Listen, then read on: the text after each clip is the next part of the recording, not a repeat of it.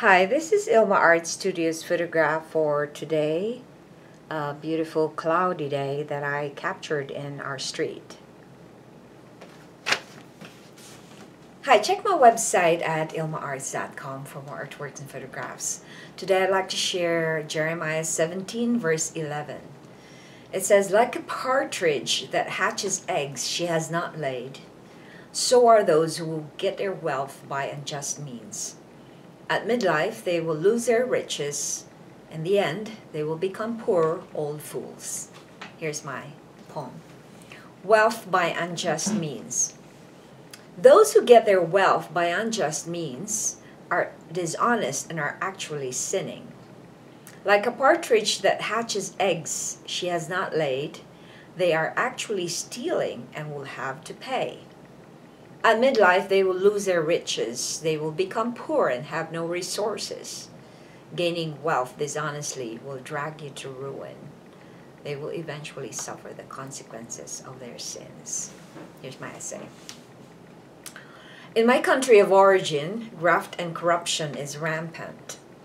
It was one of the reasons why I decided to migrate to Canada. I just had too much of it. Poverty does many things to people. When one is surrounded by so much dishonesty, it either makes you participate or totally turn away from the system. Struggling with being poor can become a lifestyle of striving. One can be de desperate and use measures that can quickly alleviate the deficiency they are experiencing. Survival mode becomes a lifestyle. Cheating to get easy wealth can be another option.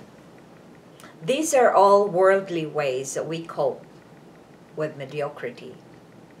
The Bible warns us not to get wealth by unjust means because we will eventually lose them. Prayer. Lord, help me never to lose my integrity. Reflection. Why is this honest ways to be rich discouraged in God's people? Because God doesn't want us to steal.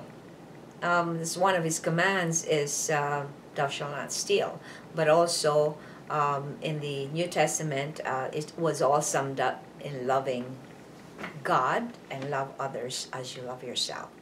So when you are being dishonest, you are not a loving person. You're not walking in love. So I think this is the reason why God is discouraging us from um, getting quick rich, getting rich quickly. Because when we get rich quickly, it can quickly disappear as well. Because uh, hard earned money is what God rewards. Um, we um, he puts so much emphasis on work because work is important. It is good for our soul. It is good for us because it gives us integrity it gives us a sense of confidence. It makes us um, believe in ourselves and believe in the Lord. And um, it does not try to entertain doing things um, illegally or unrighteously. Uh, it has nothing to do with legalism, but you know that even if nobody looks at you or watches you, God knows, because God knows everything. So there is nowhere you can hide about um, what you're doing, because whether you like it or not, whether you think somebody is looking at you or not, God is watching you all the time.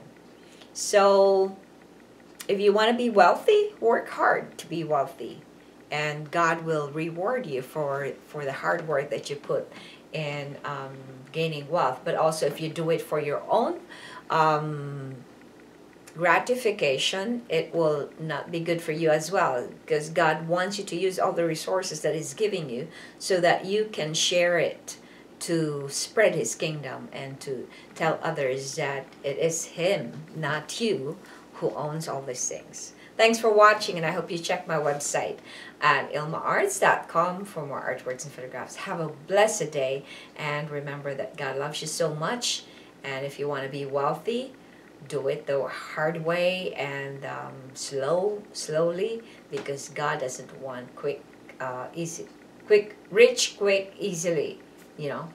Thanks for watching. Have a blessed day.